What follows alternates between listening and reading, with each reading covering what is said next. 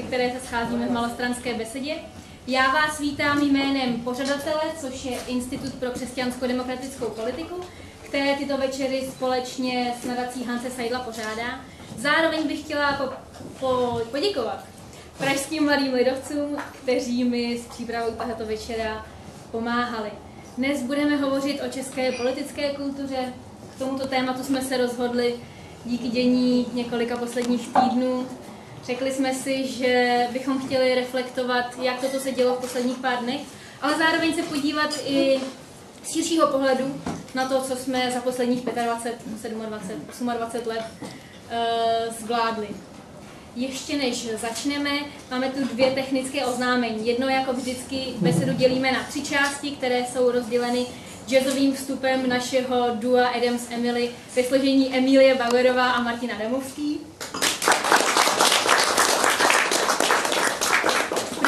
Částech bude z hosty mluvit pouze paní moderátorka Veronika Sedláčková. V poslední části bude prostor na vaše dotazy, tak vás poprosím, abyste si je nechali až nakonec. Druhá technická věc, jak jste si všimli, bohužel tady s námi nesedí Petr Honzejk. Na poslední chvíli jsme zjistili, že má určitou kolizi v kalendáři, takže ač nám slíbil, že dorazí, tak bohužel musí teď být v Plzni. Ale i přesto doufám, že beseda bude kvalitní a že se zapojíte. Tak přeji vám hezký večer. Já děkuji Anežce Fuchsové za to každodenní, nebo každou 14 denní, teď jsem se do toho zapletla, prostě díky za ten úvod. Já uh, vítám, vítám, navážu, vítám vás, díky, že jste přišli a samozřejmě v první řadě vítáme dnešní hosty. Je to Terezie Kaslová, původní profesí novinářka, taky místo předsedkyně společnosti Ferdinanda Peroutky. Je to tak? Je to tak, ano. Dobrý den. Hezký večer. A Josef Majnek, politolog z Fakulty sociálních věd Univerzity Karlovy. Dobrý večer. Tak, eh, jak už Aneška taky předeslala, my jsme se rozhodli reagovat aktuálně na to dění, které se zdá v posledních dnech, hodinách se trošku uklidňuje, ovšem nevíme. Protože eh, jestli se něco eh, stalo pravidlem, je to, že si člověk nemůže být jistý už vůbec ničím a předpokládat se nedá skoro vůbec nic. Každopádně, já bych se ráda zeptala obecně, eh, poslední dobou, kromě toho, co se děje, se mluví také hodně o tom, jestli jsme v krizi, jestli naše politická eh, a společenská mm, eh, úroveň je, na tak, je tak špatná, že bychom se nad sebou měli zamyslet. Ale já bych to obrátila Protože se mi zdá, že možná, a zeptám se nejdřív Terezie Kaslové, by to mohla být eh, spíš eh, taková odrážecí plošina vzhůru. Jestli už se třeba z té krize spíš nezačínáme dostávat. Jak to, jak to vidíte? Spíš hůř nebo spíš líp? Já přesně nevím, jestli jsme opravdu v krizi, nebo eh, v tom, co si každý z nás tou krizí představujeme. Ale určitě mám pocit, že situace na politické scéně, eh, situace mezilidských vztahů a chování eh, je pro mě dost odstrašující. A nepovažuji za dobrou, nelíbí se mi, nesouhlasím s ní, ale nevím, jestli bych ji hodnotila jako, jako úplnou krizi, eh, ve smyslu opravdu toho, jak já vnímám krizi něčeho strašného, něco hrozného se děje, protože vidíme, že vlastně Stejně se nic tak strašného neděje. Co si o tom myslí, nebo jak to vidí Josef Lejn? No, mně je to střídavé. Já si, eh, když sleduju to, zejména při sledování toho současného nedávného dění politického, tak někdy jsem měl chvíli, kdy jsem si říkal, no, tak opravdu jako dno nemá dno, to prostě jako den, den, den horší. A někdy jsem optimista, říkám si, fajn, to je skvělé, to je jako za věcí veřejných a Radka Jona a tak dále, odposlech, prostě, jako pády vlády a tak dále, nebo v těch předchozích letech. Takže eh, možná to období 2013 až do, do, do, jara letošního roku, eh, tak to byl spíš takový, eh, takové jenom kulisy, nebo že prostě takové zdání, že ta politická situace je stabilní, nebo že se vlastně nic tak vážného neděje. Panoval jakýsi klid a teď se jsme víceméně se vrátili tam, kde jsme třeba byli před třemi, čtyřmi lety a pokud bych měl odpovědět na otázku, jestli si myslím, že jsme v krizi, tak bych odpověděl, že ano, ale že to je nějaká trvalá krize, která už se tady táhne řadu let a to současné dění k tomu zase tak nic nového extra nepřidá. A čím to je, že jsme v té trvalé krizi? Teď eh, se ptám na to, jestli, co to znamená, že jsme se vrátili o tři, o čtyři roky zpátky, podle vás v praxi. Tedy, že se vracíme eh, k nějaké verzi věcí veřejných, nebo čem to spočívá? Já jsem měl spíš na mysli takové to, eh, s těmi věcmi veřejnými, takové to dění, jakože eh, každý den prostě nějaká nahrávka, nebo prostě někdo odchází z vlády, z vládou a, a, a, a kdo ví co všechno. A, eh, samozřejmě eh, mohl bych tu paralelu rozvíjet i tak, že bych si kladl otázku, v čem eh, třeba hnutí Ano Andrej Babiš je podobné, v čem se liší. Ale eh, pokud je o tu krizi, tak eh, já si myslím, že tady sledujeme jakýsi důsledek eh, neúplně, řekli, povedené transformace nebo, mm, nebo důsledek toho, že ten vývoj české společnosti v roce 89 eh, prostě má určité parametry, které mají k tomu, co bychom si měli přát, dost daleko. A týká se to vlastně toho, eh, co je tématem té dnešní diskuze politické kultury, eh, protože Uh, ono se to často zaměňuje ten pojem politická kultura s tím, že uh, když poslanec mluví v parlamentu prostě, takže se řekne, že to je úpadek politické kultury. To s tím vůbec nemá co dělat. Politická kultura je vlastně, stručně řečeno, schopnost nějaké společnosti se organizovat a dosahovat uh, nějakých plnění svých zájmů a tak dále. A pokud přitom poslanci mluví v parlamentu prostě, tak mi to vůbec ne, jako nevadilo, jo, to je úplně jedno. A ta současná česká politika, ta krize odhaluje to, že česká společnost si jaksi dovede velmi málo, až by řekl mizerně, jako organizovat a dosahovat plnění nějakých svých zájmů a cílů, jako všechno nechávala vlastně na několik pár hráčů, buď na voliči Andreje Babiše, na Andrej Babišovi, ale ti voliči těch ostatních stran, tak tež si myslím, že spíš to mají dost pasivní přístup a spokojí se s tím, že hodí ten volební lístek do urny a čekají, co ti jeho zástupci nebo zástupci Co budou dělat. budou dělat. Tak, eh, můžeme si za to sami, eh, že jsme málo aktivní, že se málo organizujeme jako společnost za to, co se děje. Asi si za to můžeme sami. Já, já nad tím, a obzvlášť v poslední době často přemýšlím, čím to je, že právě nejsme, nejsme schopni příliš se sami jako jednotlivce angažovat. A, Nebo je- i ve skupinách, ale, ale, ano, ale prostě prostě se zapojit se nějaká, to je jedno, jestli, možná to zní naivně, jestli svého poslance, senátora, něco dělá, nebo se schromáždit na Václavském náměstí a dát najevo, co si myslím. Eh, někdy člověk eh, jako laik, nej, nejsem odborník, má eh, chuť možná i sám sobě to omlouvat tím, že nás tady deptali eh, komunistický režim a že nás vychovával k tomu, že spíš jsme všichni byli to tak bylo. No ale proč potom třeba v Maďarsku, to mě Tak v napadlo, Maďarsku to úplně nejde k lepšímu. ale aspoň jsou ty lidi schopní být ven v daleko větší míře, než, než jsme schopni možná je, jsou k tomu dotlačení horší situaci ještě, než, než je u nás nebo v Polsku.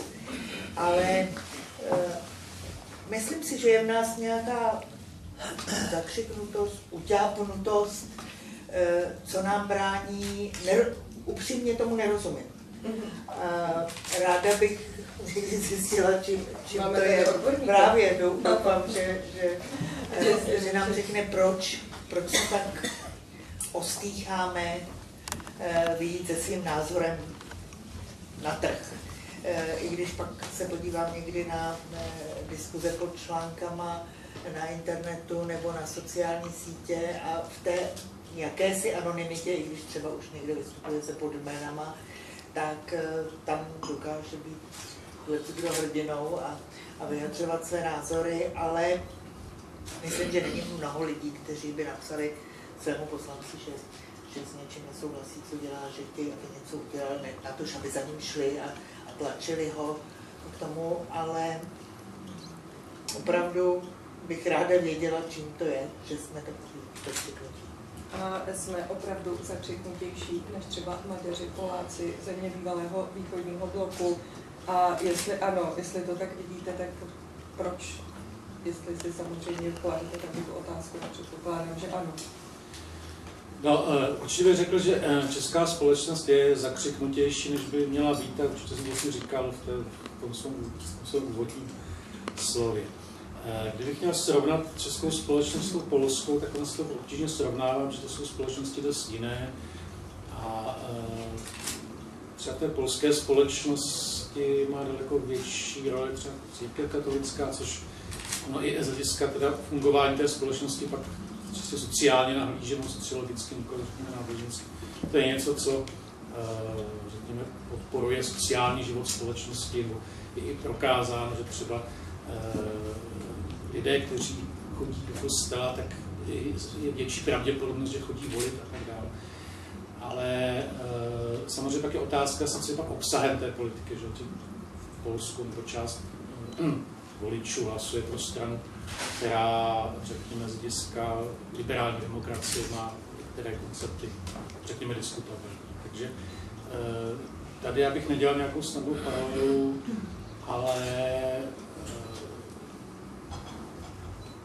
každopádně třeba polská společnost hm, měla větší schopnost se zorganizovávat už v dobách komunismu, kdy tam vznikl odborové hnutí Solidarita, které prostě dosahovalo masových počtů Tady ta schopnost byla slabší a těžko říct, čím vším to je, jestli samozřejmě nějakým možná tvrdší, tvrdší povahou komunistického režimu v Československu, ale to je, Nebo je, to, je, to je diskutabilní a je to možná obecně povaha. Prostě jako, nevím, jako já na to žádné jednoduché vysvětlení nemám, ale jako eh, taková ta schopnost eh, organizovat se do nějakých skupin, společenství a tak dále politických je u Čechů nějak jako horší, řekněme, české společnosti. Pokud je o nějaké spolky združení, které se věnují sportu, koníčkům různým a tak dále, tak to je myslím fajn. Tady existuje celá řada takových záležitostí, ale přímo řekněme společenských organizací, tak a to třeba by měla být jaká, abychom mluvili konkrétně, co tady chybí třeba, co je zahraničí?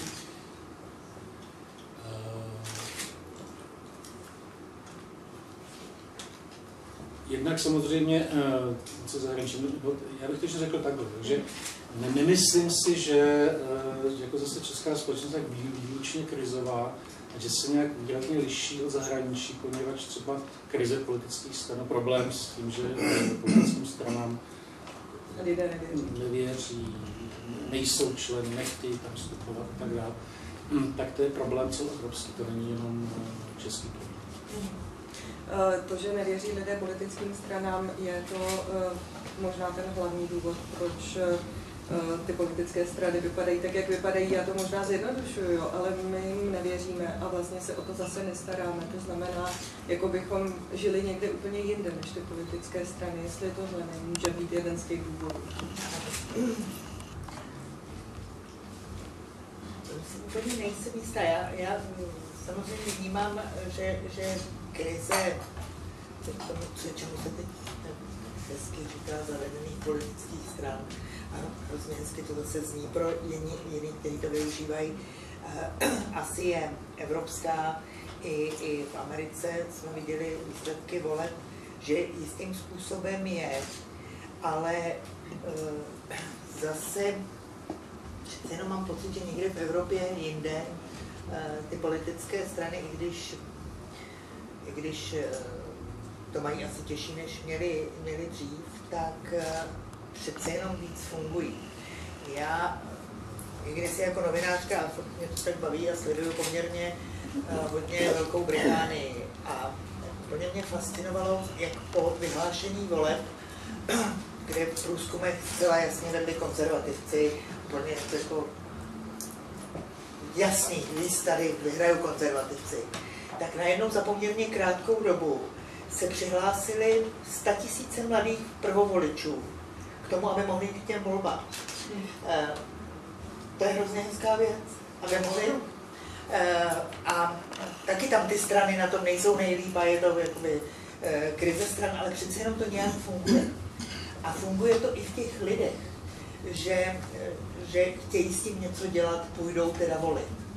Eh, nevím, jestli eh, ta situace na naší politické scéně zburcuje tolik lidí, nejenom prvovoličů, aby šli k volbám, anebo i, i starovoličů, aby se vůbec obtěžovali a šli k těm volbám. A to mluvíme o tom, že lidé volí, ale pak, jak jsem taky už předeslala, by se mohli zúčastnit života těch politických stran.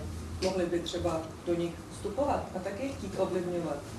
A e, tohle e, je také dost neoblíbené. Víme, že politické strany v Česku nemají příliš mnoho členů. Tam je asi, tam je asi ta skepse mnohem větší než kde jinde ani v té podpoře, že, že nemusím hned vstupovat třeba do té strany někde, ale aktivněji se zúčastnit, podporovat.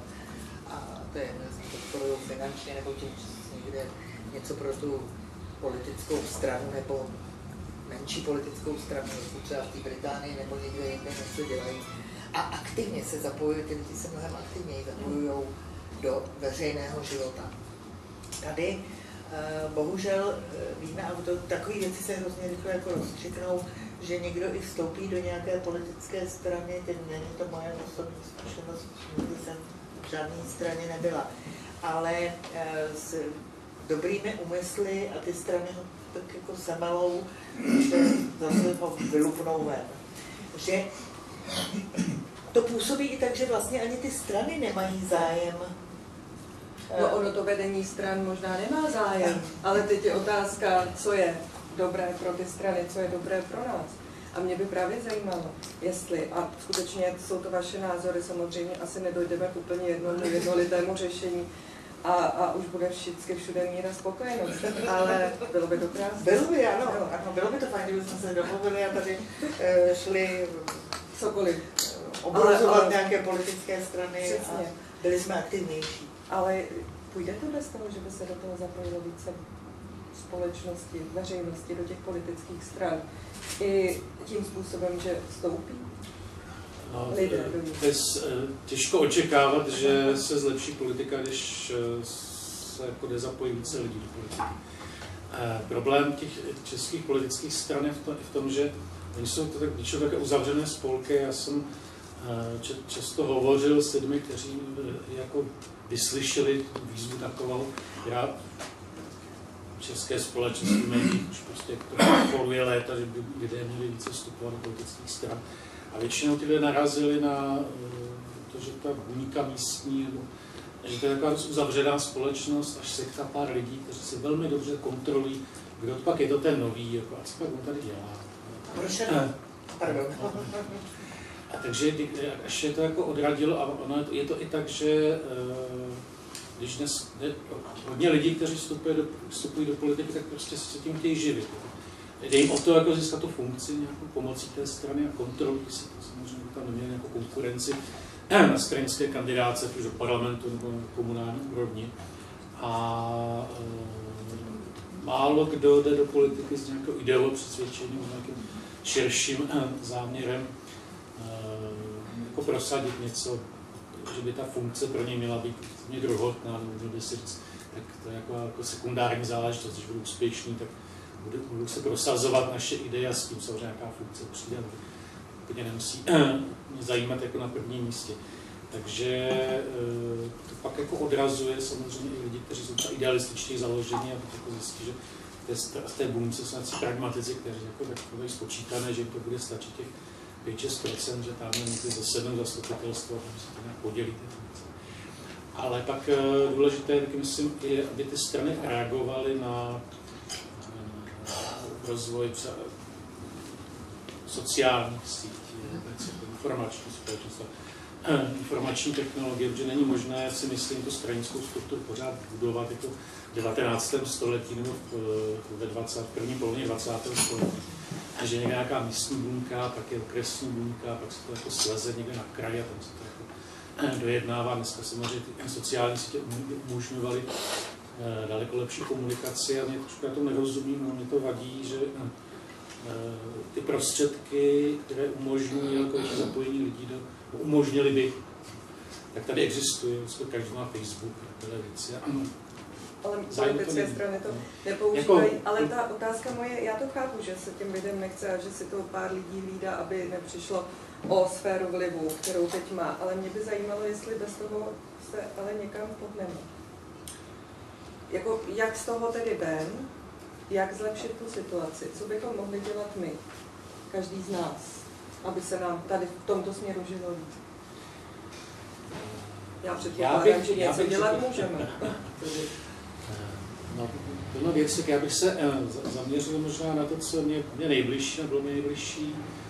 A ty otázka vlastně, co o tom debatuje, tak tež teď je otázka jako tisku nebo svobodného tisku, jako svobody médií. Tady většina médií je rukou nějakého oligarchního podnikatele, není to věcem Andreje Babiše. Ale eh, já nevím, když si skupina novinářů, třeba jako kvalitní novinářů, by si chtěla založit vlastní, ale snad papírový deník, to už může být třeba překonané, ale nějaký prostě web, tak by, tak by narazila na to, že by měla problém to financovat, poněvadž eh, kdyby třeba to udělala tak, že část toho obsahu je placený obsah, tak stejně Češi toho nebudou chodit, budou ty informace nějak spady jinde zadarmo a tak dále. Takže jednou z forem občanské angažovanosti větší byla podpora jako nezávislého tisku, nějaký, což může být podpora třeba nějakých webů, které existují, jako když se chtějí věnovat politice jako nezávisle na nějakém eh, zájmu nějaké, nějaké korporace. a. Ty pokusy tu samozřejmě jsou, vidíme je. Eh, Já nevím, hlídací pes. DVTV sice pod domem ekonomie, ale taky je to pokus o určitou seriózní žurnalistiku. Je to cesta? Vy jste novinářka, cesta skrze média? Určitě, určitě je to jedna z cest a eh, sama kvalitní, dobrou a nezávislou žurnalistiku považuji za základ demokratické společnosti. A je škoda, že i nezávislá žurnalistika potřebuje peníze. A e, zase jsme e, zpátky u toho, že občan, my, občané, nejsme schopni příliš pro to udělat. Kdo z nás, kdo touží po těch kvalitních, nezávislých médiích, na to nějakým způsobem přispěje. Přitom všechny ty internetové nezávislé noviny e, vybízejí své čtenáře, přispějte nám prosím. Ale tak někdo asi i přispívá. určitě ano, ale nemyslím Ne- ne, si, že tolik. je to tak, jak by bylo, bylo potřeba. Uh, já, eh, to je určitě jedna, jedna stránka věci. Druhá je, že eh, noviny eh, nebo média jsou, jsou někým vlastněny, dobře, dobře to víme. A možná teď budu skoro mluvit sama proti sobě, v tom až ten největší problém není. Všude média, i vyhlášené americké deníky, někdo vlastní, ale přiznává se k tomu. Eh, neříká, já to vlastně nevlastním, nebo já tady...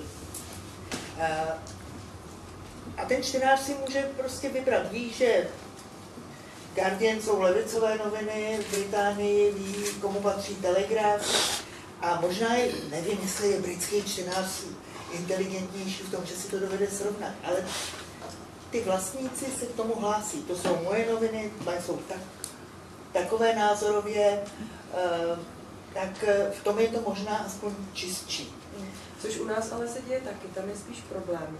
Do, do nedávna mm, tak trošku uh, zasouvaný pod koberec, že tady média vlastní, teď je to ve sféře ředeckých fondech, Ano. ale přesto politik, vicepremiér Andrej Babiš. To A samozřejmě teď je je otázka, protože vždycky média bude někdo vlastnit nebo bude je někdo platit z koncesionářských poplatků, prostě jistým způsobem musí být financována, aby mohla fungovat, protože je dělají lidé.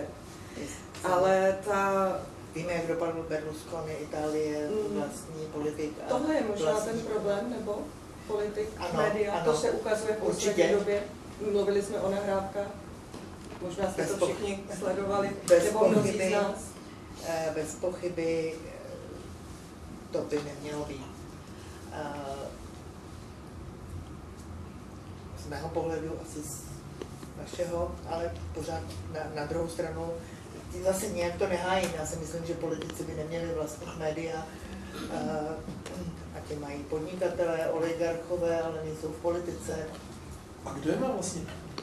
Eh, Pardon, na otázky se dostane v poslední eh, části. Se točíme Ne politici.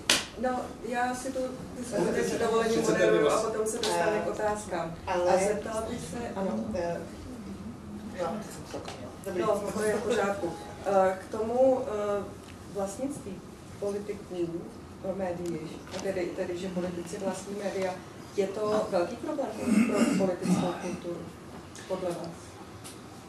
Eh, Určitě to problém je a zmíněný Silvio, Berlusconi je vlastně takovým prototypem eh, právě jako politika, který jako vlastní média, no, samozřejmě našli bychom v historii jiné podobné případy, ale konec konců je, existuje takový politologický koncept strany jakožto firmy, který jako odvazen od toho Berlusconiho hnutí nebo strany Forza Italia, takže si myslím, pro Andreje Babiše byl An- Berlusconi vzorem.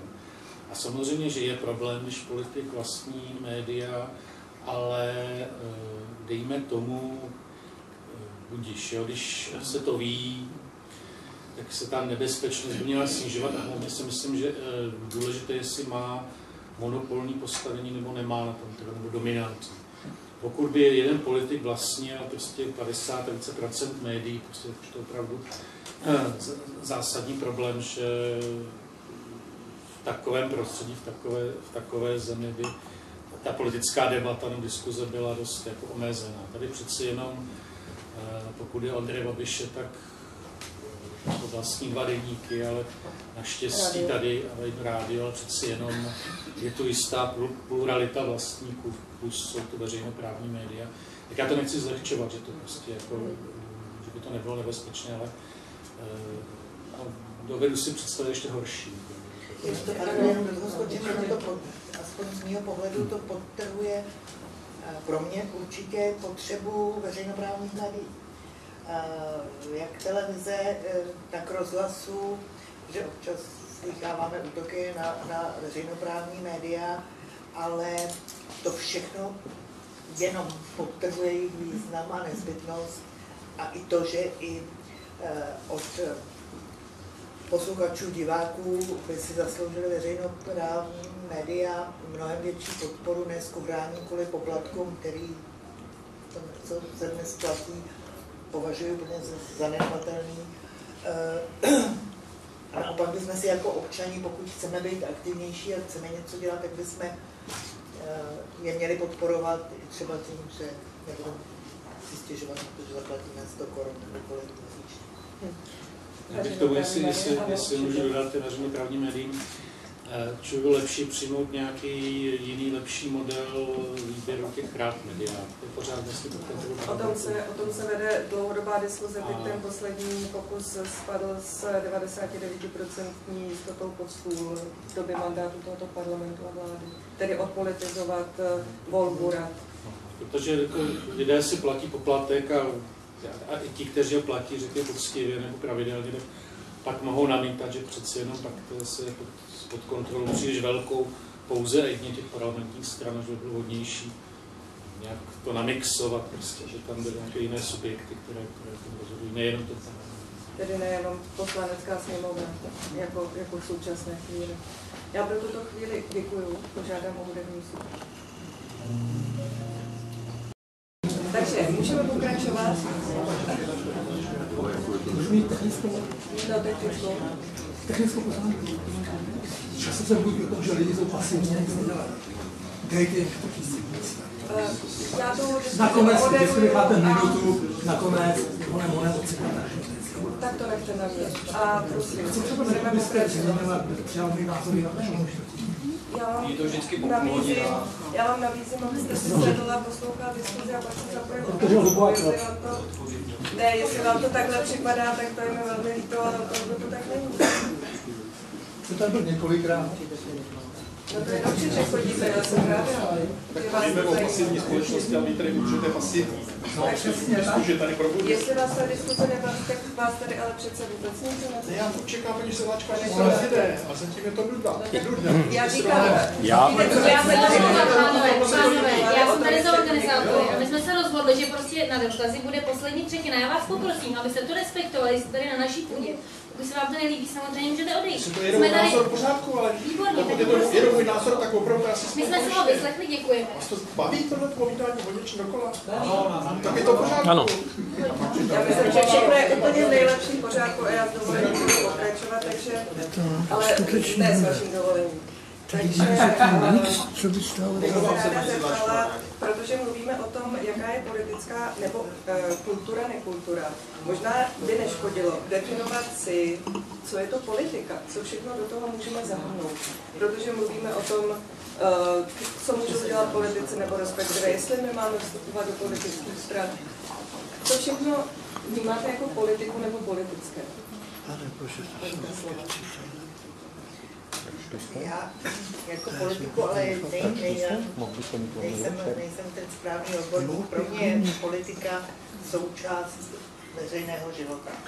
Eh, Pro, v mých očích by politici opravdu měli, já jsem naivní představa, spravovat eh, věci veřejné pro své voliče a v jejich zájmu. Eh, Vím, že to je naivní a že se tak eh, to, to neděje asi nikde na světě. Ale eh, od těch politiků bych alespoň čekala méně arogance vůči těm voličům, méně pohrdání těmi voliči, protože často mám ten pocit, že jsme pro ně úplně nedůležití, kromě těch voleb. Eh, Chvilky nás potřebují, aby se mohli, aby byli zvoleni, dál se udrželi. A eh, že nám to dávají poměrně jasně najevo, že, že jsme pro ně nedůležití. A my tomu jen tak přihlížíme. A, Ano, ještě? ne, to je. To je vše k tomu bodu. Eh, Pro Josefa Mlejnka politika, eh, jak, jak, jak byste ji jako politolog definoval? Co všechno tam patří? No, to je dost, jako, takhle, já se nechci pouštět do nějakých přednášek, protože samozřejmě to je eh, otázka, o které se se dá mluvit hodně dlouho. Ale určitě já bych, eh, nebo já nechci vnímat politiku jenom jako v tom úzkém slova smyslu, že to jsou nějaké volby strany parlament. Ale eh, konec konců, Aristoteles definoval člověka jako bytost společenskou, no tak tak je v tom širším slova smyslu politikou vlastně jaká, jaká, jakákoliv společenská aktivita.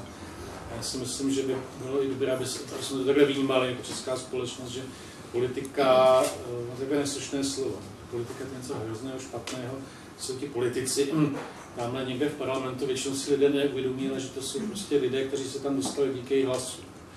A že politika dobré, nebo politika nemusí být tež, jako špatné nebo zprosté slovo, že to znamená jakoukoliv nějakou společnou sdílnou, aktivitu, pokus o to jako eh, vytvářet něco, co není jenom můj osobní zájem, a co nějaký širší zájem, pokud jde o kulturu, vztah k historii, nebo i jako prosazování nějakých zájmů. Eh, větší zájem o to, jak já nevím, funguje, funguje veřejná doprava a tak dále jakým způsobem se eh, stát stará o kulturní dědictví. A tady v této oblasti česká společnost se dovede si docela dobře eh, organizovat, angažovat, jako Lářa Spolku, tady, který vyvíjí nějakou činnost.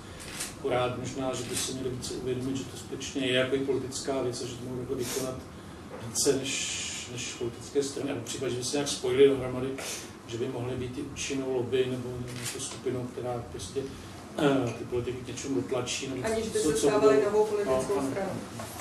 A poněvadž oni asi velmi, eh, velmi dbají na veřejný mínění, každý politik, Zvlášť před volbami. a zvlášť před volbami. Takže jako pokud oni zjistí, že společnost se tíží a že prostě dokážou lidé dát najevo to, že eh, je to nějaký jejich zájem, aspoň, že třeba dokáže něco zorganizovat, demonstrovat, nebo eh, dát nějak výrazně najevo, že je to něco, co je pálí, tak i ten uh, ušklivý uh, profesionální politik na to aspoň dovede zareagovat, takže prostě se to spočítá v hlavě, že to je pro případného vlastně důležité a může, může ho společnost donutit vlastně k nějakém, nějakém Mimochodem, co si paní slova slibujete v tomto směru od iniciativy Proč proto? Vy jste eh, při tom druhém setkání na Václavském náměstí minulý týden ve středu vystoupila. Eh, bylo by to něco, o čem mluví pan Mlejnek, eh, nebo je to, je to ta akce, o které mluví, tedy, která by mohla spojit a rozrušit politiky nebo ten monolit? Samozřejmě z mého pohledu je to přesně to, co by mohlo roz... narušit, naťuknout ten monolit. I když si trochu dovolím polemizovat, že ty politici to tak citlivě vnímají, co si veřejné mínění mý, myslí, nebo co si lidé myslí a jsou schopni jít na Václavské náměstí, pak se dozvíme, že to je, tam stejně bylo méně lidí než lajků na Facebooku, tak myslím, že zrovna tohoto konkrétního politika to moc asi nepohne, možná je trochu... Protože to nebylo na jeho podporu, to se asi dá čekat. Možná je trochu zaskočená, ale to je přesně to, co si myslím, že by lidé měli dělat a co by mohlo narušit a pomoci dát najevo, eh, co si myslíme. I proto eh, jsem, jsem tu akci podpořila a vystoupila jsem tam navíc. Mě se hluboce těsně před tím Eh, dotknul výrok eh, prezidenta Zemana v Číně o tom, že se novináři mají likvidovat. To, to je pro mě něco prostě nehorázného. Eh, řečený ještě představiteli země, kde se novináři opravdu vraždí a, a jejich umrtí nejsou vyřešený, takže to mě ještě nakuplo víc. Už je, já jsem byla na Václavském náměstí i týden předtím, ale byla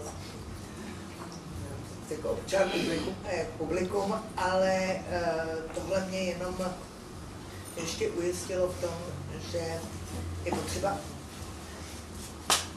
aspoň říct svůj názor nahlas, nebát se za něj, nestydět se, když s něčím nesouhlasím, tak prostě jdu z kůží na trh a, si myslí, kdo chce, co chce já.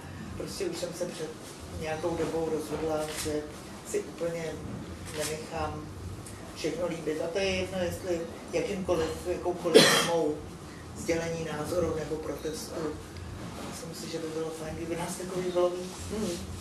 Právě ta iniciativa Proč proto by mohla být podle vás eh, takovou první vlaštovkou. Ono už takových iniciativ nebo setkání během těch, eh, řekněme, 25, 27 let bylo víc. Vždycky při nějaké příležitosti. Ale mohlo by to mít nějaký efekt?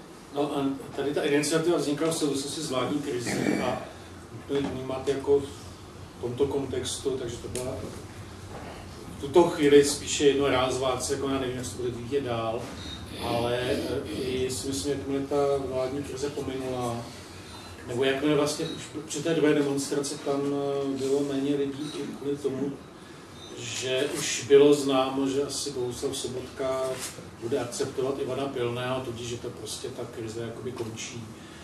Ale um, u té, u té konkrétní iniciativy, když jsem tady mluvil o tom vnímání, že politik cítí, jak veřejné mění funguje, Tady byl problém, ne tak s Andrejem Babišem, to bylo jako proti němu, takže on si počítal lajky na Facebooku. Ale e, tady byl trošku problém podle mě v tom, že jako to bylo na podporu Bohuslava Sobotky, no, že hodně těch lidí jako vyjadřoval mimo jiné podporu Bohuslava Sobotky, si postavil prostě Miloši Zemanovi a tak dále. Ale myslím si, že většina těch účastníků prostě nebyli voliči ČSSD, jo, to jim nevyčítám prostě, ČSSD dlouhodobě v Praze moc voličů nemá ale potom sám Bohuslav Sobotka uh, si to mohl vyhodnotit tak, že sice lidé demonstrují na jeho podporu, ale nejsou to jeho voliči, takže mu to vlastně je tak trochu k.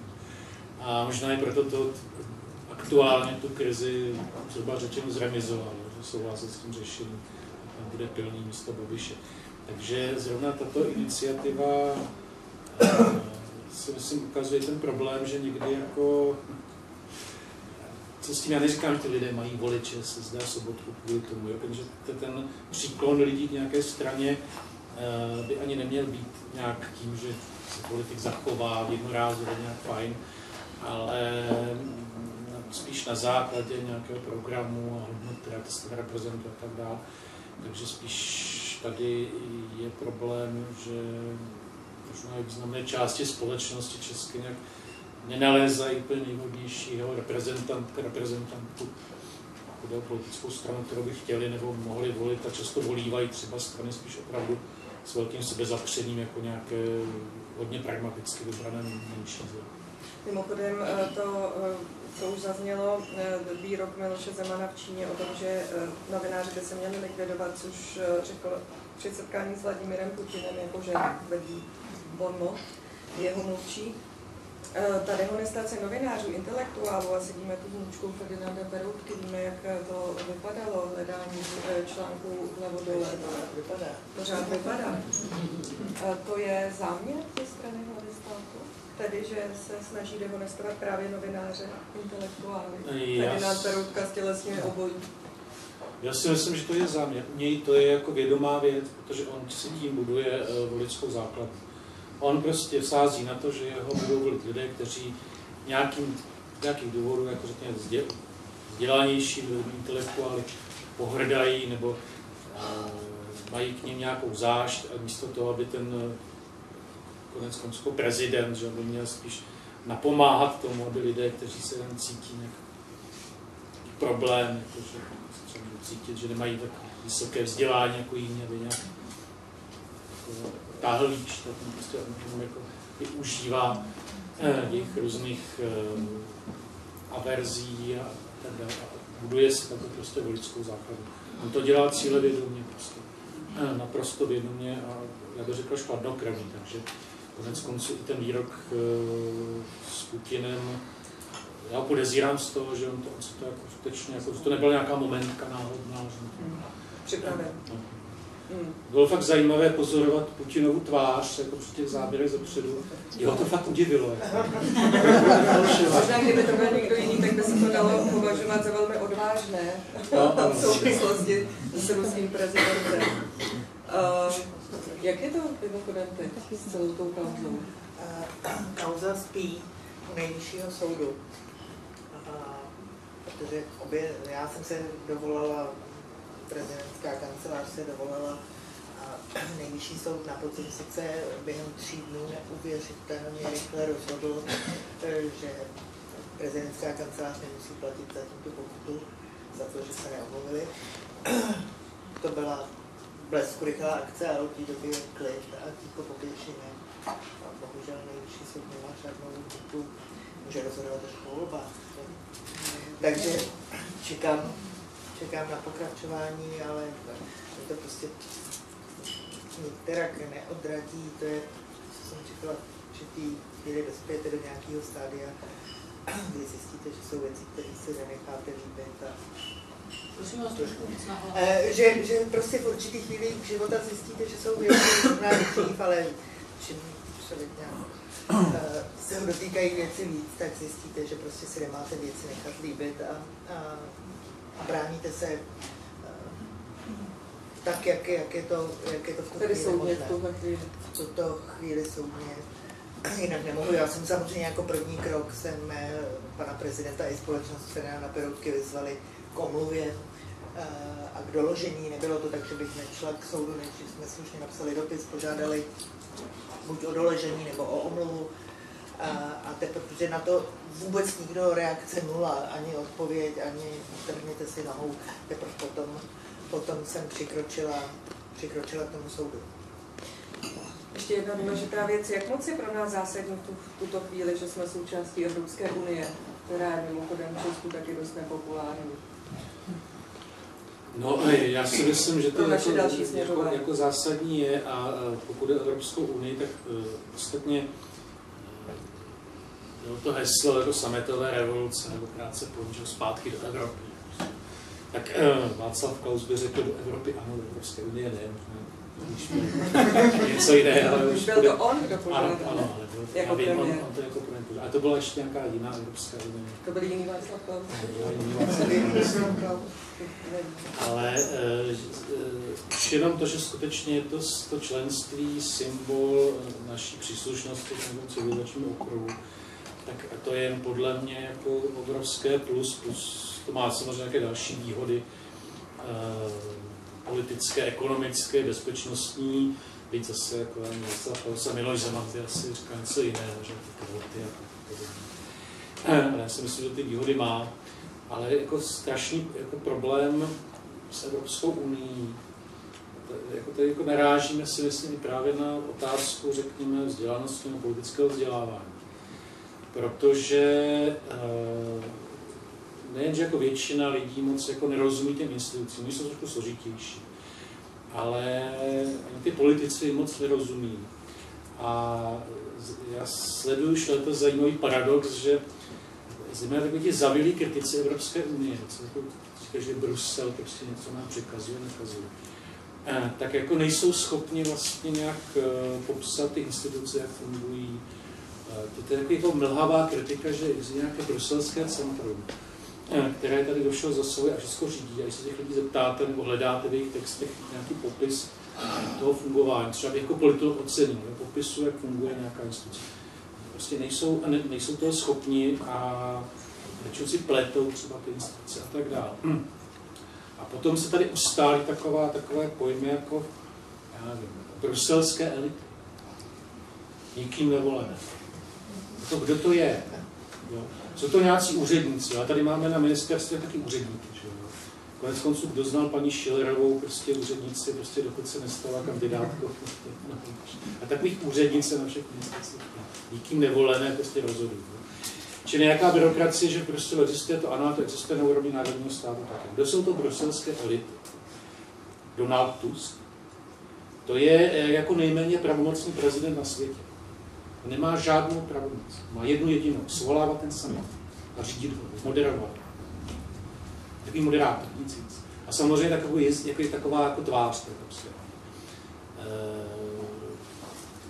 takzvaná ministrině zahraničí Evropské unie to samé.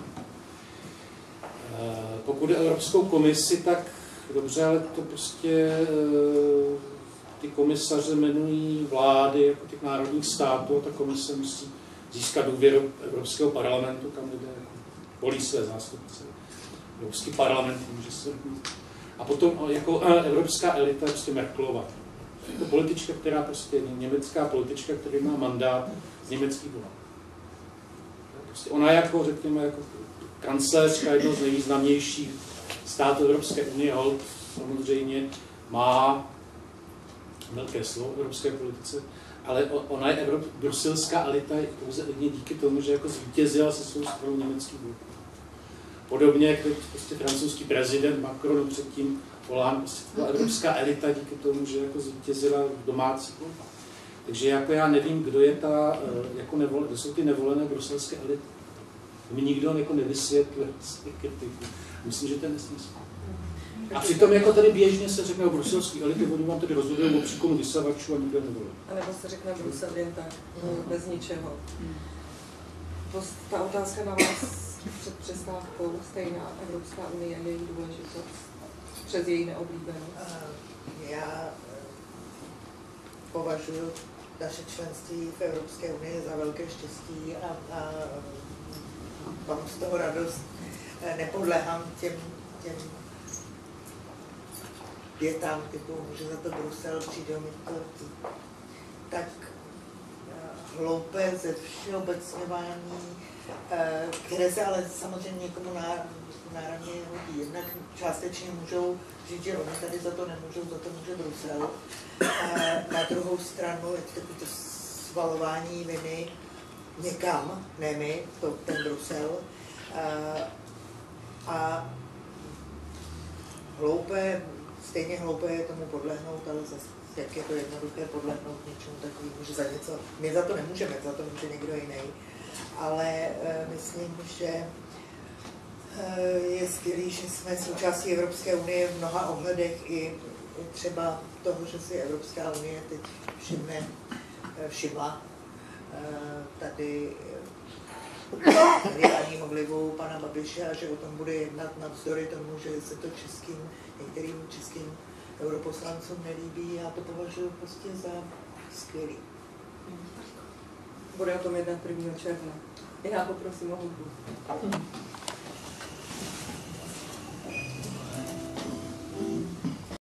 Zkrátce byla organizována na podporu nějakých jako jiných politických stran než eh, hnutí ano, což by byl totální nesmysl, že tak by to asi uškodilo, poněvadž právě veřejnosti ty jiné strany moc jako má je při nejlepším tak jako velkou rezervou nějaké, nějaké lásce, no, jako takový v kontextu třeba s tou eh, kauzou tady a tím, co se dělo 28. října eh, na Staroměstském náměstí, kde to bylo vlastně pod tou hlavičkou a nepřišlo a přijde mi, že tenhle ten efekt se tam právě nedostavil, že by to snižovalo. No, uh, jako takhle, já si myslím, že tady uh, s tím jako vznikl, vznikl jakýsi problém v 90. letech, kdy uh, se jako stavili do kontrastu politické strany a občanská společnost. A Václav Klaus to vyhrotil, že on reprezentuje ten svět, ty, ty klasický západní politické strany a Václav Havel je takový idealista, jako ta občanská společnost proti těm stranám. Ono by se to mělo při, při, jako doplňovat. Vlastně ne, nemohou být silné politické strany ve společnosti, kde, kde, kde je ta občanská společnost slabá. Jako nemůže fungovat. A e, si myslím, že klidně by mohlo to fungovat tak, že by nějaké takové iniciativy, jako, které se bavíme, jako prostě jakým způsobem pragmaticky třeba spolupracovat s některými stranami. My tady strany sami přichází, třeba TOP 09, prezidenční kandidáti tam na té demonstraci sbírali, nebo jejich lidé jako podpisy.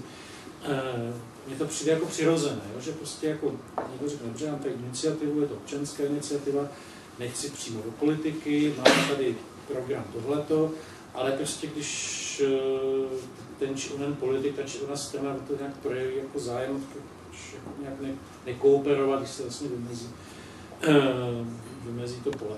Na to pak řada lidí řekne, no tam přijdou politici, oni si budou jako tam přiřívat, polívčičku, no to část z nich asi ano, jo, to se nedá nic dělat, to jako ideální to nikdy není.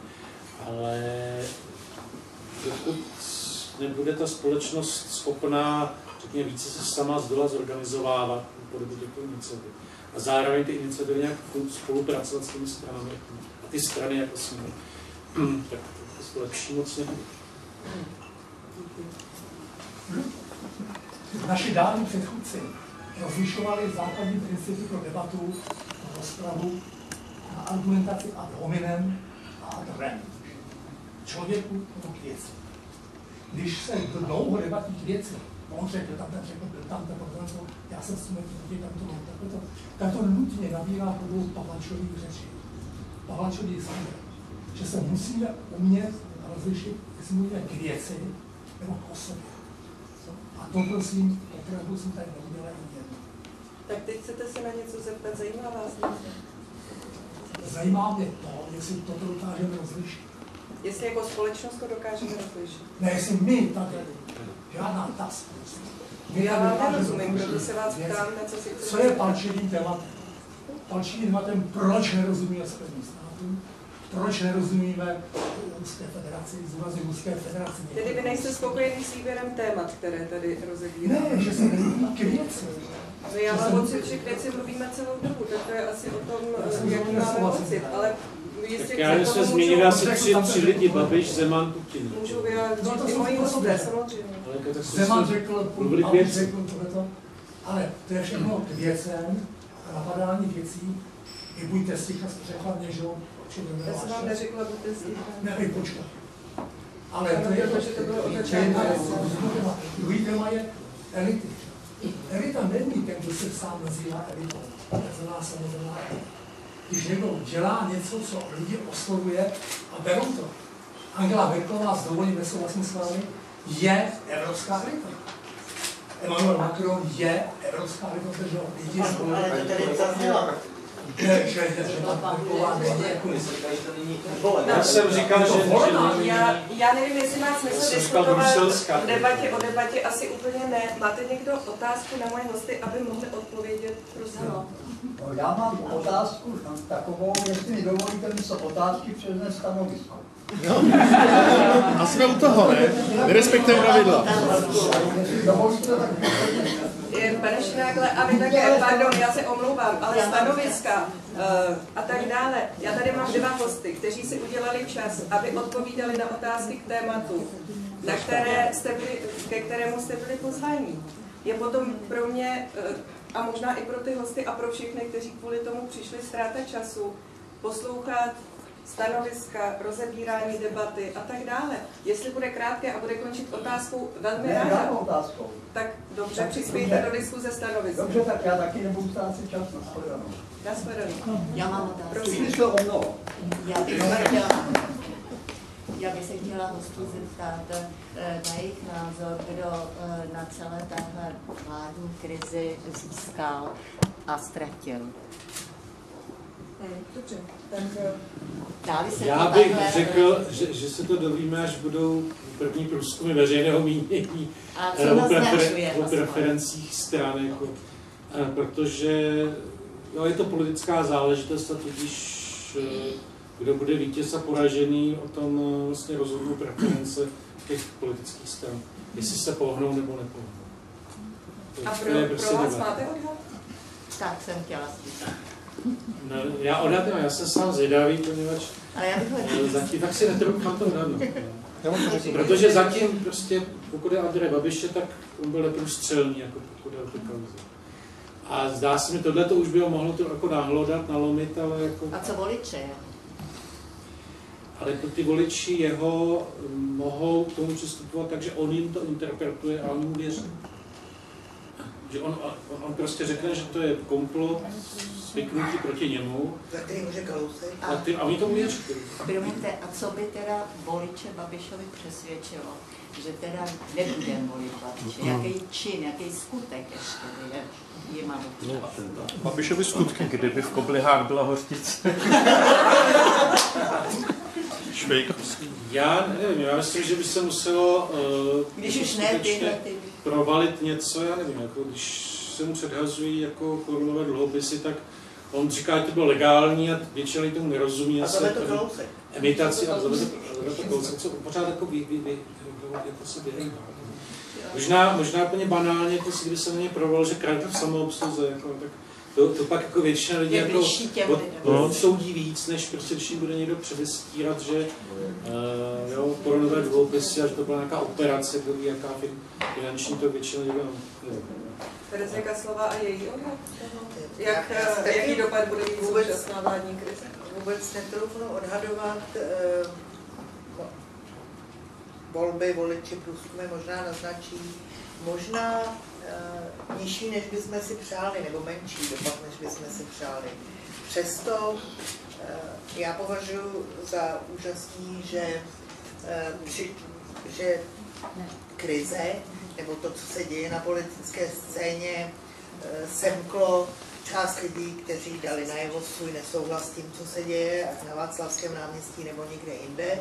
A pak eh, taky eh, myslím, že přes ta sebevědomá vyjádření lajkuje mě na Facebooku víc lidí, myslím, že to trochu otřás na, naťuklo tu eh, fasádu Andreje Babiše, protože eh,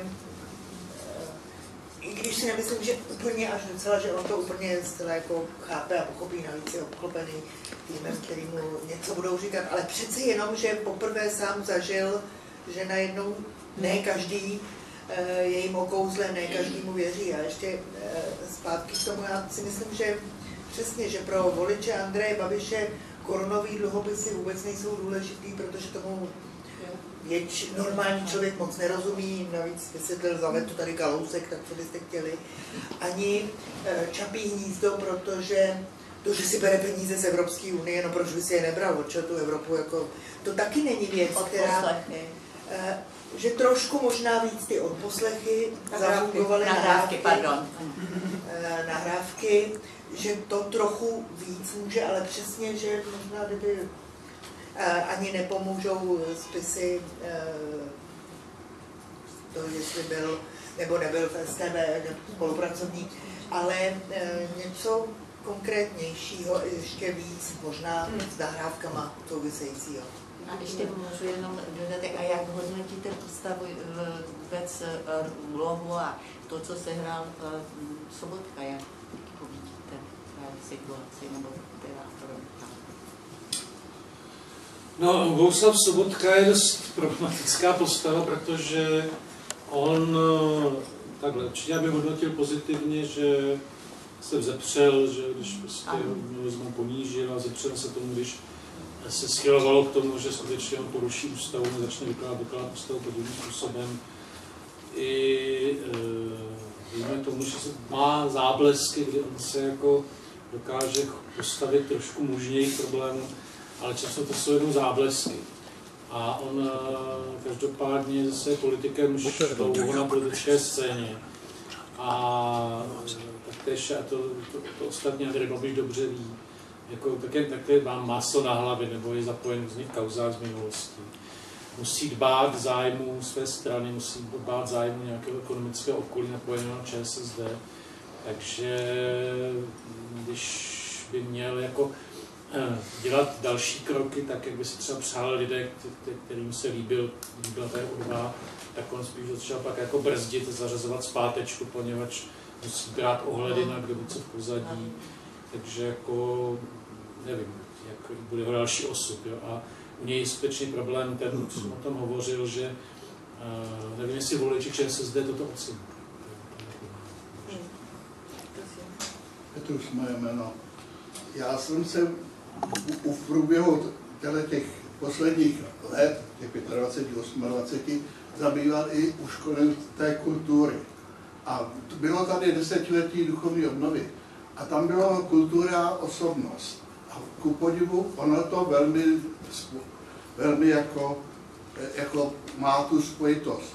Já jsem si našel prostě, že kulturus, to je participium futura od, od slova colere, ne jako kultus.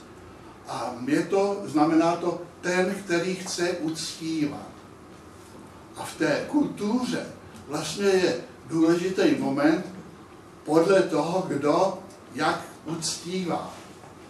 A otázka by byla, jak vlastně se zařídit současném stavu, pozorovat, kdo koho uctívá. Protože tím uctíváním, když si berete tu hodnotu, křesťan na první místo dá Boha, pak je člověk, vytvořit člověka země a dalo by se říct, do toho pak zapadne i, i, i ta prostě eh, o přírodu a o všechno možné, protože je tady ta úcta.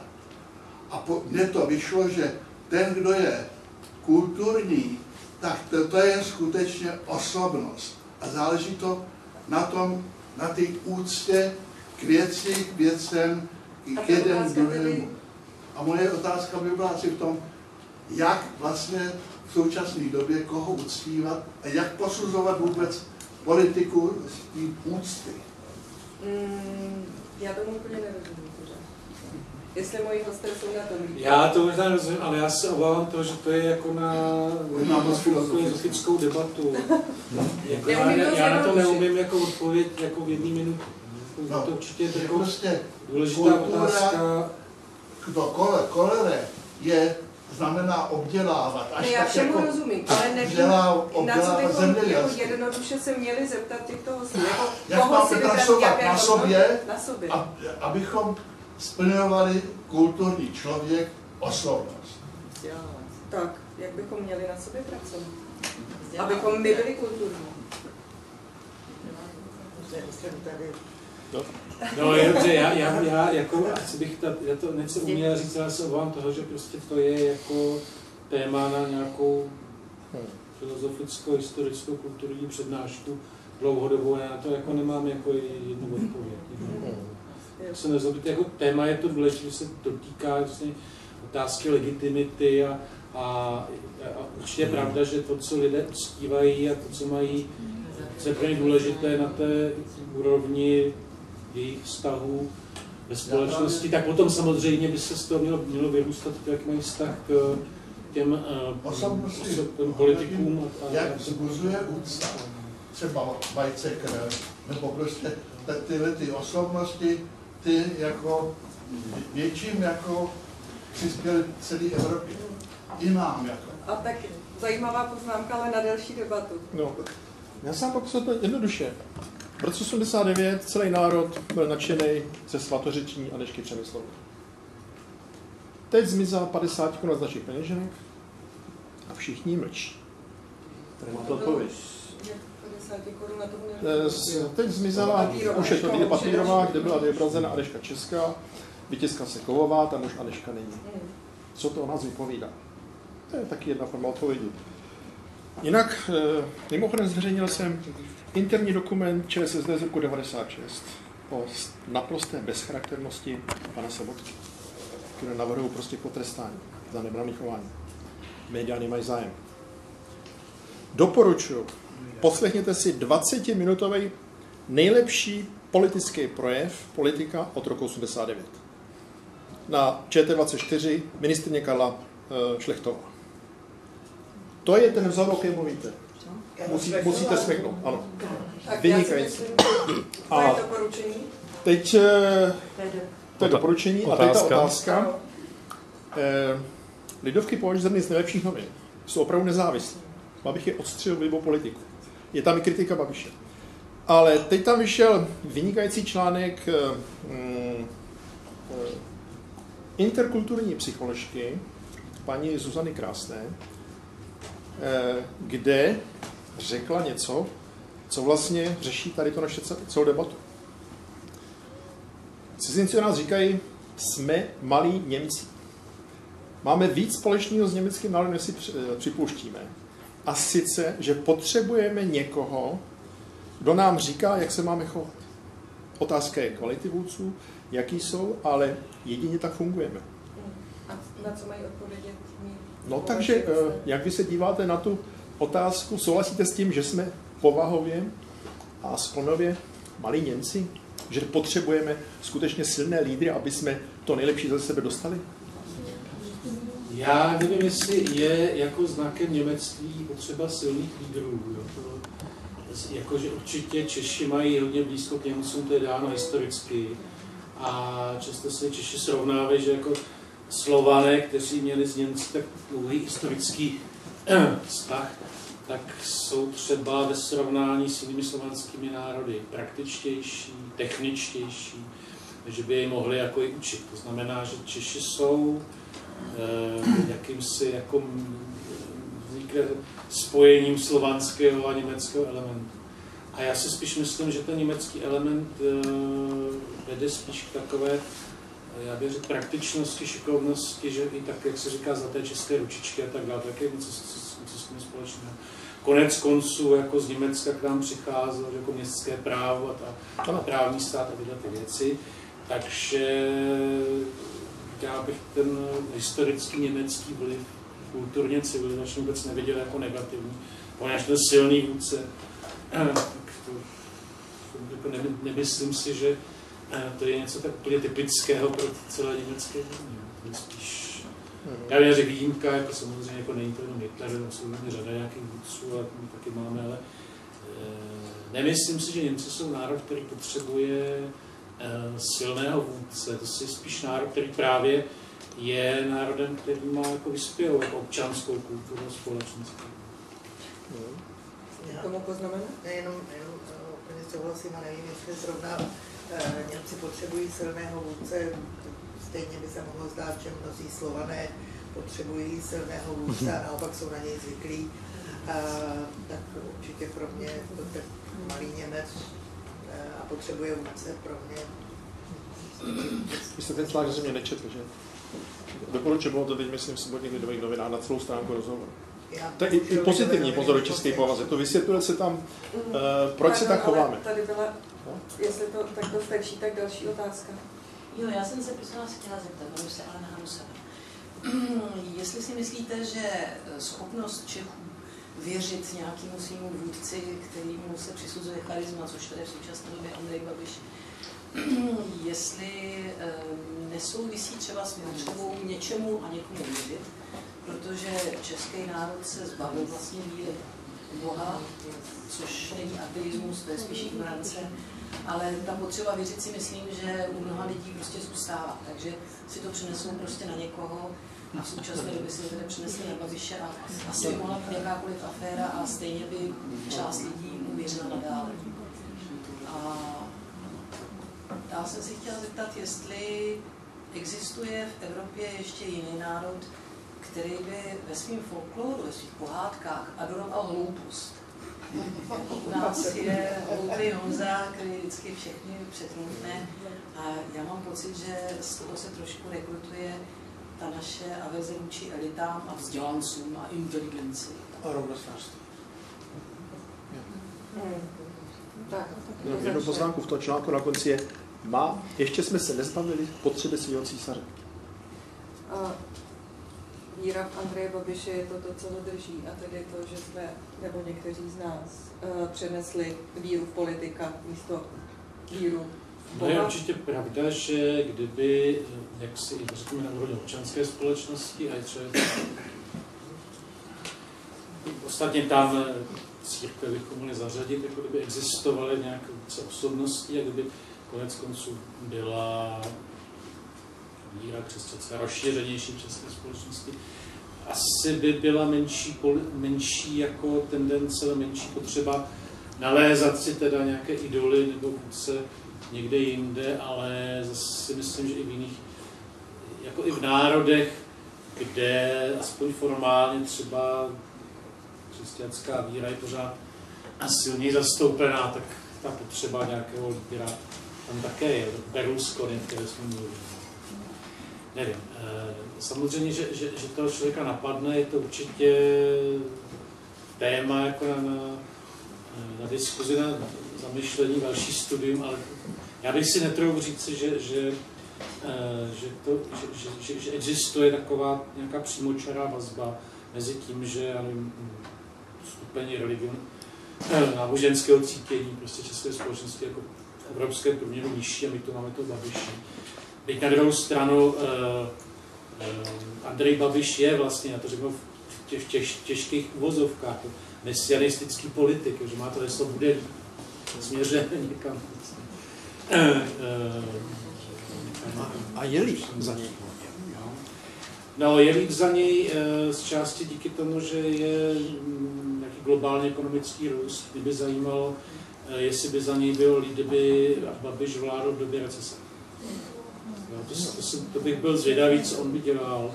Já si myslím, že on velmi těží právě z toho, že po té krizi ty cesty jsou pár let jako růstu.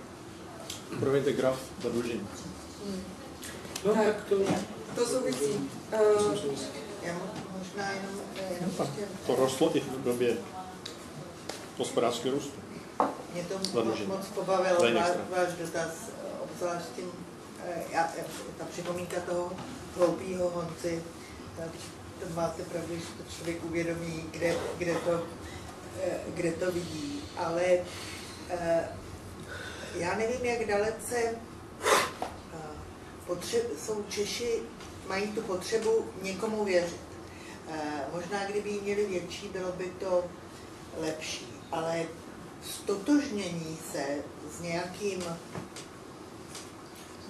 vůdcem, vzorem, eh, to tu bývá, ale bohužel, tedy aspoň ne, z mého pohledu ne moc dobrýmu, protože vezmeme, vezměme si nejpopulárnější politiky a nejobdivovanější, eh, to není nic, z čeho bychom si měli brát příklad. Oni právě splňují ten, ten, tu, tu, tu, ten Toho- symbol té hlouposti do jisté míry. A, a je velká škoda, že eh, pro Čechy není víc ten, je trochu kvalitnější jako vzor a naopak vším kvalitnějším, co by mohlo vyplout eh, na povrch, jakoby opovrhujeme. Eh, V mnoha ohledech já jsem dneska myslela na to, když jsem někde se pohybovala a poslouchala jsem něco, jak všichni čekají na kájínka, jestli už vyjde z toho vězení nebo ne. Eh, Kdysi, kdysi eh, no, a uvědomila jsem si, jak prezident Zeman je zjevně nemo, velmi nemocný muž. Mužík. Vzpomněla jsem si, jak se hovořilo o prezidentu Havlovi, když eh, byl po operaci, jaký hrozný, tady prostě nemocný prezident tam nemá co dělat a vůbec co by tam, kde, kde neslyším takovou debatu. Ano, mezi pár lidma se ozve hlas, ale neslyším debatu, že ten člověk je na tom tak, že by tam dávno neměl, ne, neměl být. A my prostě obdivujeme ho, a kdyby jenom hloupý, Honzi.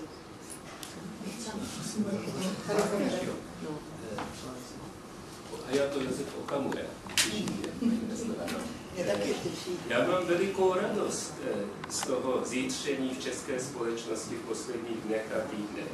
Jo, a vnímám eh, hmatatelnou naději. Byl jsem se synem na demonstraci na té druhé ve středu a tam byla taková až sváteční atmosféra. Že? Pokoj a přitom velká síla. Byly tam maminky z A eh, to, co se zdálo být předtím zabetonované kolem Andreje Babiše a prezidenta Zemana, že prostě s tím nelze pohnout, tak to se teď hnulo. To je zcela zjevné.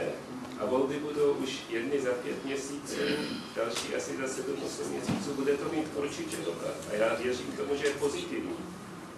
No, sám kandiduju za lidovce a starosty, to možná víte. Ano. A chci ještě říct k té české situaci, eh, tady se taky mluvilo o Evropské unii, že je eh, moc důležité vysvětlovat lidem eh, to, že nežijeme sami pro sebe tady v tom českém rybníčku, ale že žijeme skutečně v Evropě a v širším světě. To je prostě realita, to je fakt, nemůžeme to ignorovat. A je třeba vysvětlovat, vysvětlovat a vysvětlovat. A otázku na panelisty. Eh, seriózní strana eh, by měla přicházet s programově nepopulistickou politikou. Jo, příkladem je mi tady německá křesťanská demokracie, CDU a taky CSU a kancléřka, kancléřka Angela Merkelová. Ona jednala v době vrcholící migrační krize takovým způsobem, že naši lidé tady v Česku, že, kteří konzumují běžné zprávy, tak by si mysleli, že už, už musí padnout, že je nemožné, aby Němci znovu zvolili. A opak je pravdou. Ona dělá nepopulistickou politiku a rýsuje se, že, že znovu vyhraje volby, parlamentní volby. A to je velká výzva tady pro nás, víte. A tak se vás chci zeptat, panelistů, co si myslíte třeba o tom, já jsem třeba člen KDU, jaké šance má v českém prostoru, tady na té naší scéně, programově nepopulistická politika, taková až jako tvrdě, vytrvalé nepopulistická. Já sám bych pro ní byl, tak se vás chci na to zeptat. Jestli by pan Okamura nebyl sám. No, v tom českém prostředí, kde máme takové kuriozity jako Babiše a Ano, že takové uskupení prostě ve vyspělých demokraciích nikde neexistuje, třeba v Německu. Jaká je tady vůle pro takovou nepopulistickou stranu? Já, já taky bych byl rád, kdyby taková existovala. Ale uh, je to takový jako uh, paradox, no, jako problematičnost demokracie, že uh, musíte získat hlasy od voličů a když budete mít jenom samá nepopulární opatření, tak vám hrozí, že vás nikdo nezvolí. A získat si veřejnost pro nepopulární opatření, to je strašně těžká věc. Takže Eh, já bych určitě takové straně fandil, ale na druhou stranu nebo z druhou pohledu eh, těžko se bude prosazovat. A pokud ještě Angelu Merkelovou, tak jednak ona jako je v čele strany, která zase v Německu má tradici, no určitě, když to, to, se to obchodí ve své války. A, e, ta strana je nějak v té společnosti jako zakotvená, tak má nějaký stabilní elektorát. Takže ona si může dovolit být jako ne, nepopulistická nebo dělat nepopulární patření, poněvadž ví, že za tou stranou je, je, je nějaké voličské jádro a to, na to může spoléhat. A ona má i jako velký kredit nebo vítězí těch volbách, protože si podařilo přesvědčit veřejnost, že ona dovede jako dobře vládnout. Ona teď vůbec nemyslím nějakou, nějakou migrační krizi. Jo, že prostě tomu Německu se daří a ona je ten jako machr na to, že prostě dovede vládnout takže to Německo jako, když, když, ne, když ne rozkvétá, tak prostě funguje jako správně. Že, že, že má uh, tyto vlastnosti. A to jí drží.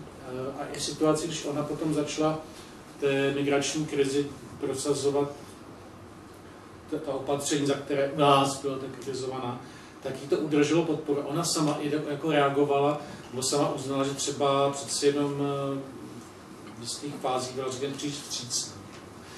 v tom Německu oni jako trošku couvají a zpřístují ten vztah k, k migraci i po těch různých uh, teroristických aktech a tak dále, problémech, které, které někteří nemínění dovede nějak jako zareagovat na to, že to přepískla v něčem třeba, ale, ale teď zase jako roste, poněvadž uh, se může opřít, ale o to, o čem já jsem mluvil, o ten kredit z minulosti, že dovede vládnout, jako i, že má jisté profesní jako předpoklady k tomu. A má za svou silnou stranu. Já bych to vrátila tedy k té původní otázce, jestli Terezie Kaslová chce říct, jakou šanci by tady měla, jaký hlad je po takové straně, která by nebyla populistická. No určitě u části voličů ano, ale e, bojím se, že ne u té větší části voličů. E, to je zpět Angelem Merkelové. Angela Merkelová je skvělý, skvělý politik, který umí přiznat je chybou, to, o čem se tady mluví, ale taky má zjevně, e, pracuje s jinou voličskou základnou. E,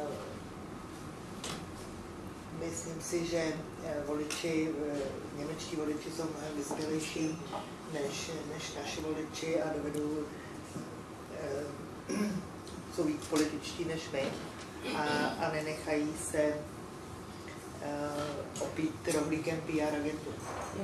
Hmm. Abych teda chtěl říct na pár známek na to Německa, toho hloupý Honzy.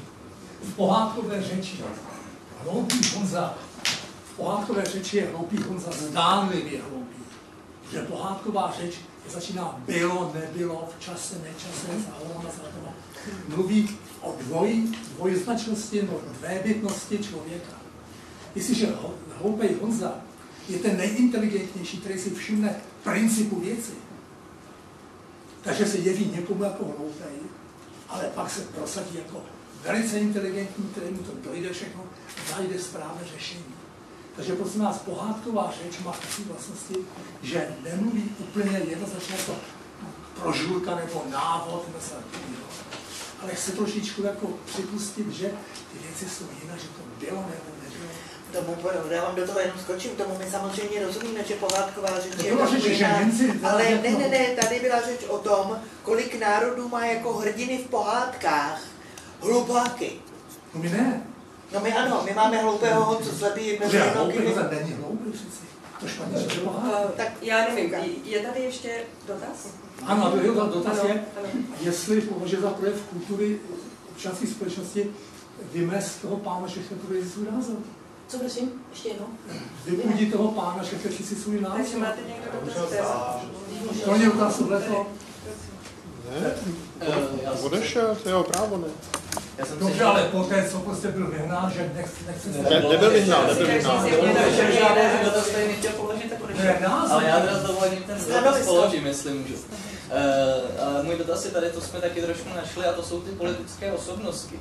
Protože třeba podívejme se na to, my samozřejmě s Václavem Klausem a Milošem Zemanem nemusíme souhlasit, vlastně řekl bych, nesouhlasíme, ale stále jsou to vlastně ty aktéři té uh, rané české politiky to vlastně ty osobnosti, co ta listopadová doba vyprofilovala a následně se taky staly prezidenty. Jestli my tady opravdu máme nějaké ty osobnosti, které řekl bych s tou politickou kulturou jsou poměrně dosti spojené.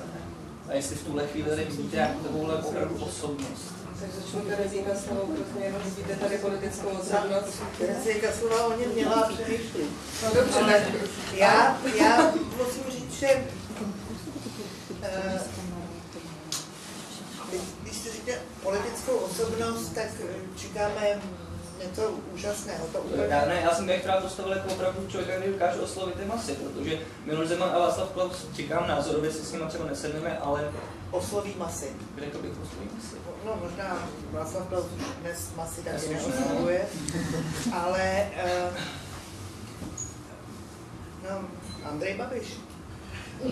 Tudíž se poptejme, co ta ty masy chtějí. To je smutné, že? No.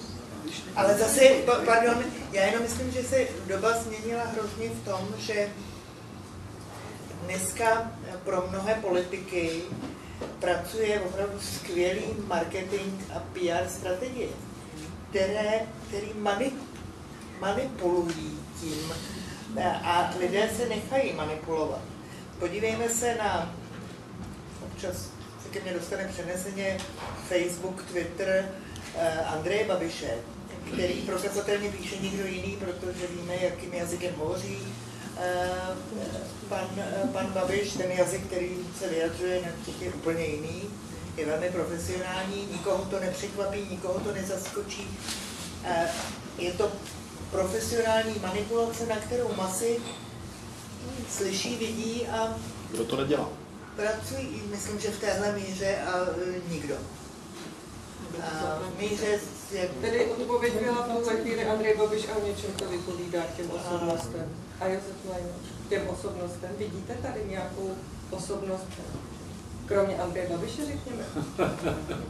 Andrej Babiš je, je, je, je problematická hodně osobnost a je pravda, že umí šikovně pracovat s marketingem a zase s tím marketingem se pracuje samozřejmě všude, ale eh, pokud ta společnost právě nemá nějak vyspělejší strukturu, eh, pokud není, není zvyklá prostě na, na nějaké útoky marketingové, nebo s nás podlehne. Prostě, když ta společnost je prorostlejší nějakou sítí organizací vazeb přirozených a tak dále, vzdělanější, kulturnější,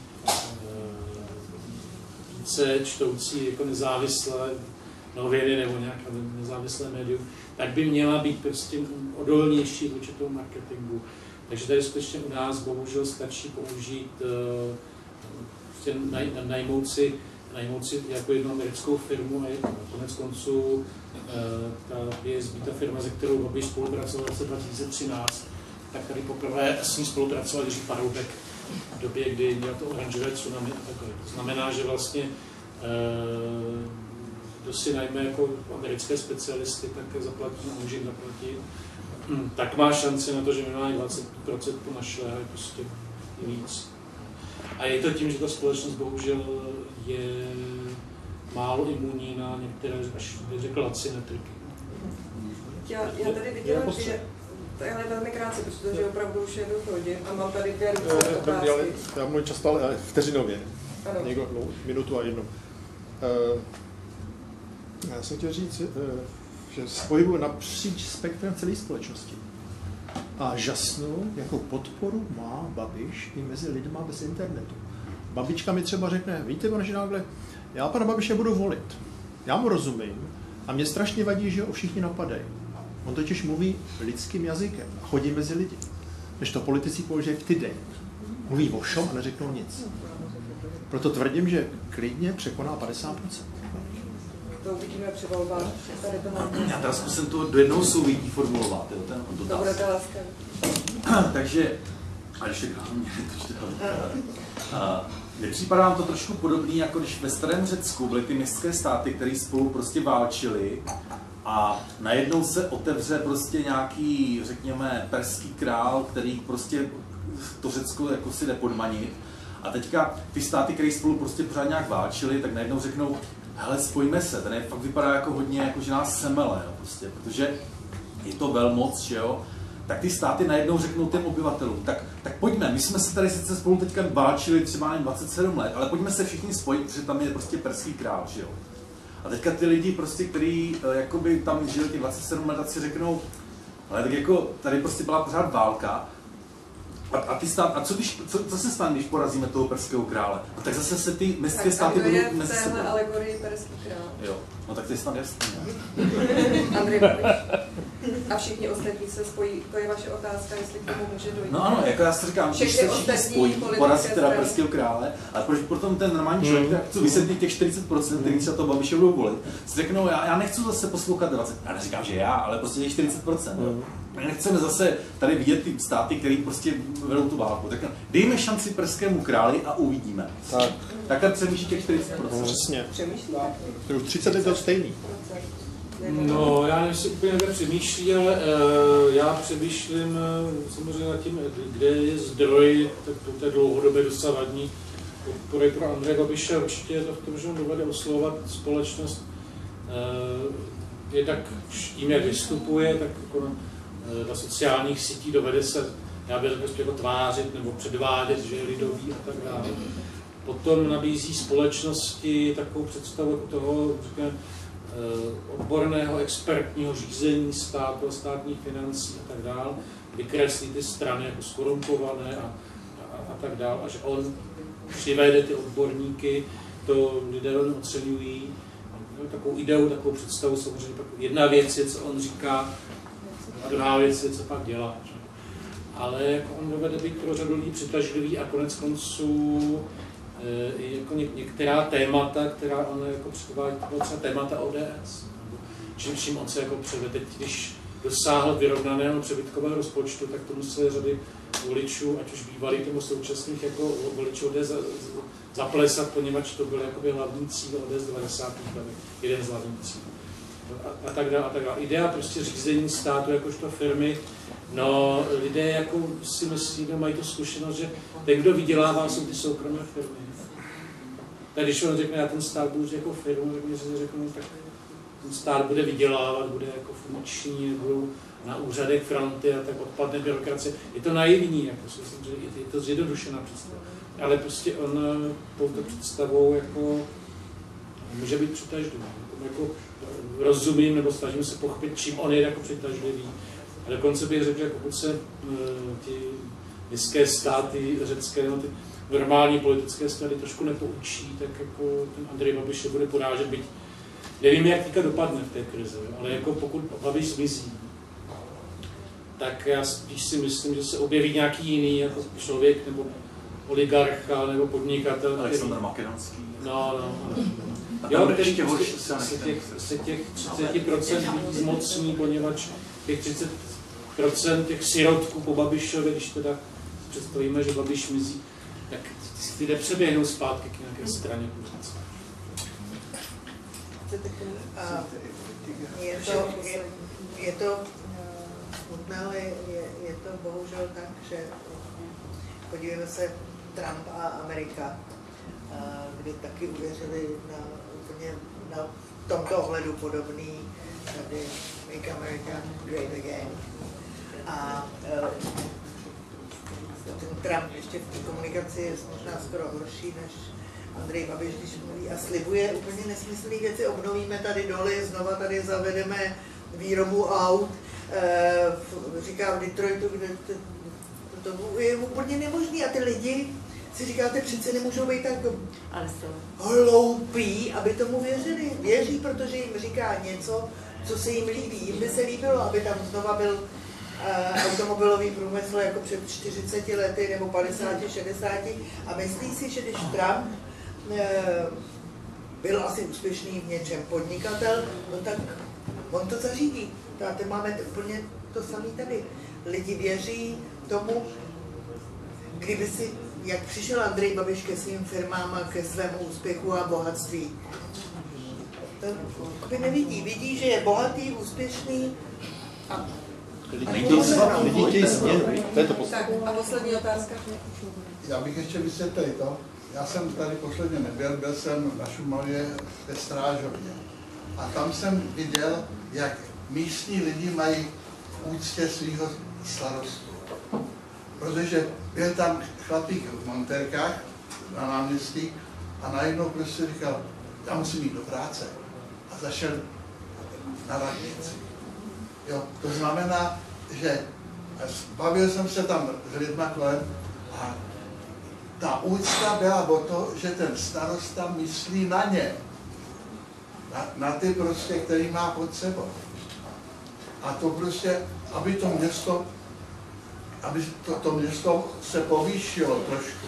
A to je, to je důležitý moment, který vlastně zbudit k sobě úctu pravděpodobně ten starosta, že má tu moc. No to on, Andrej Babiš taky slibuje, lidé mu věří, že to bude dělat líp. Ale to není je konkrétní věc.